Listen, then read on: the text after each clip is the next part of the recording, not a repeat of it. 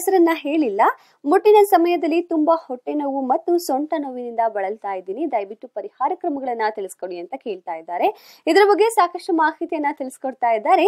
Doctor ಸಂಧ್ಯಾ, ಪ್ರಾಧ್ಯಾಪಕರು, ಸರ್ಕಾರಿ ಆಯುರ್ವೇದ ವೈದ್ಯಕೀಯ ಮಹಾವಿದ್ಯಾಲಯ, ಬೆಂಗಳೂರು. ಮುಟ್ಟಿನ ಸಮಯದಲ್ಲಿ ಸೊಂಟ ನೋವು, ಹೊಟ್ಟೆ ನೋವು ಅಂತ ಹೇಳಿದಿರಾ?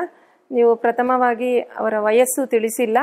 ಯಾಕಂದ್ರೆ ಸಣ್ಣ ವಯಸ್ಸು ಅಥವಾ ಋತುಮತಿ ಆದಾಗ, ಮೆನಾರ್ಕೆಯಿಂದ ಹೊಟ್ಟೆ ನೋವು ಕೆಲವರಿಗೆ ಇರುತ್ತೆ. ಇದು ಸಾಮಾನ್ಯವಾಗಿ ಕಂಡುಬರುತ್ತೆ. ಇದನ್ನು ಫಿಸಿಯಲಾಜಿಕಲ್ ಅಂತಲೇ ನಾವು ಹೇಳ್ತೀವಿ. ಇದಕ್ಕೆ ಚಿಕಿತ್ಸೆ ಅವಶ್ಯಕತೆ ಇರುವುದಿಲ್ಲ. ಅಥವಾ ತುಂಬ ಹೊಟ್ಟೆ ನೋವು ತಡ್ಕೊಳ್ಳಿಕ್ಕೆ ಆಗೋದಿಲ್ಲ ಅಂಥ ಟೈಮಲ್ಲಿ ಚಿಕಿತ್ಸೆಯ ಅವಶ್ಯಕತೆ ಇರುತ್ತೆ. ಇದಕ್ಕೆ ನಾವು ಪ್ರೈಮರಿ ಡಿಸ್ಮನೇರಿಯಾ ಅಂತ ಹೇಳ್ತೀವಿ. ಇದು ಕಾಲಕ್ರಮೇಣ ತನ್ನಿಂದ ತಾನೇ ಸರಿ ಹೋಗ್ಬೋದು. ಹೋಗದೇ ಇದ್ದರೆ ಚಿಕಿತ್ಸೆ ತಗೋಬೋದು. ಇನ್ನೊಂದು ವಯಸ್ಸು ಅಂದರೆ ರಿಪ್ರೊಡಕ್ಟಿವ್ ಏಜ್ ಅಂದರೆ ಒಂದು ಅಥವಾ ಎರಡು ಮಕ್ಕಳಾದ ನಂತರ ಹೊಟ್ಟೆ ನೋವು ಶುರುವಾಗಿದೆ ಅಂದರೆ ಅದಕ್ಕೆ ಸರಿಯಾದ ಚಿಕಿತ್ಸೆ ಮತ್ತು ಸರಿಯಾದ ನಮಗೇನು ಇನ್ವೆಸ್ಟಿಗೇಷನ್ಸು ಬೇಕಾಗುತ್ತೆ. ಯಾಕಂದರೆ ಸ್ಕ್ಯಾನಿಂಗ್ ಮಾಡಬೇಕು. ಯಾಕಂದರೆ ಹೊಟ್ಟೆಯಲ್ಲಿ ಏನಾದರೂ ಗೆಡ್ಡೆ ಇದೆಯಾ? ಅಥವಾ ಗೆಡ್ಡೆ ಫೈಬ್ರಾಯ್ಡ್ ಯೂಟ್ರಸ್ ಅಂತಿವೆ. ಇತ್ತೀಚಿನ ಕಾಲದಲ್ಲಿ ಕಾಮನ್ ಆಗಿ ಕಂಡುಬರುತ್ತೆ. ಈ ಬಿಗ್ ಫೈಬ್ರಾಯ್ಡ್ ಯೂಟ್ರಸ್ಸಲ್ಲಿ ನಿಮಗೆ ಹೊಟ್ಟೆ ನೋವು ತುಂಬ ಕಾಣಿಸ್ಕೊಳ್ಬೋದು.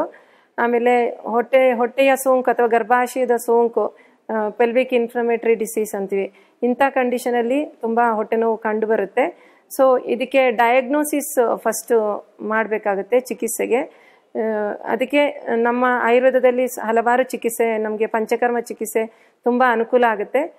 ಪಂಚಕರ್ಮದಲ್ಲಿ ಬಸ್ತಿ ಚಿಕಿತ್ಸೆ ಅಂತ ಮಾಡ್ತೀವಿ, ಎನಿಮಾ ಟ್ರೀಟ್ಮೆಂಟು ಇದರಿಂದ ತುಂಬ ಉಪಯೋಗ ಆಗುತ್ತೆ. ಆಮೇಲೆ ಇಂಟರ್ನಲ್ ಮೆಡಿಸಿನು ಕೊಡ್ತೀವಿ.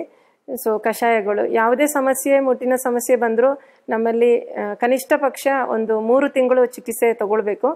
ಸೊ ಇಲ್ಲಿ ಏನು ಅಂದರೆ ನೀವು ವಯಸ್ಸು ತಿಳಿಸದೇ ಇರುವುದರಿಂದ ನಮಗೆ ಯಾವ ಥರ ಚಿಕಿತ್ಸೆ ಹೇಳಬೇಕು ಅಂತ ಸ್ವಲ್ಪ ಕಷ್ಟ ಆಗುತ್ತೆ.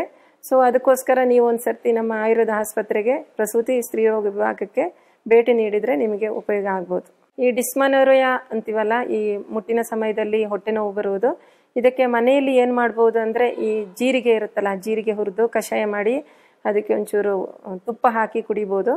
ಇಲ್ಲಾಂದರೆ ಜೀರಿಗೆ ಓಮಕಾಳು ಓಮಕಾಳಿನ ಕಷಾಯ ಮಾಡಿ ಕುಡಿಬೋದು.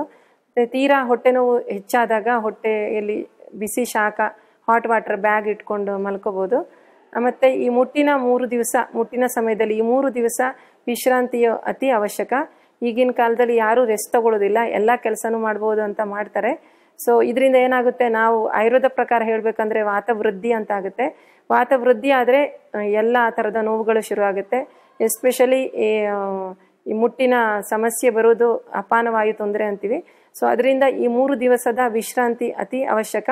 ಆ ಸಮಯದಲ್ಲಿ ಆಹಾರವು ತುಂಬ ಮಿತವಾಗಿರಬೇಕು. ಮನೆಯಲ್ಲಿ ಮಾಡಿದ ಆಹಾರವನ್ನೇ ಸೇವಿಸಬೇಕು.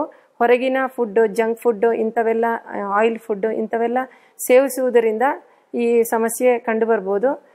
ಅದಕ್ಕೆ ಅನಿಸುತ್ತೆ ಈಗಿನ ಕಾಲದಲ್ಲಿ ಈ ಮುಟ್ಟಿನ ಸಮಸ್ಯೆ ತುಂಬ ಬರಲಿಕ್ಕೆ ಕಾರಣ ನಮ್ಮ ಜೀವನ ಶೈಲಿ.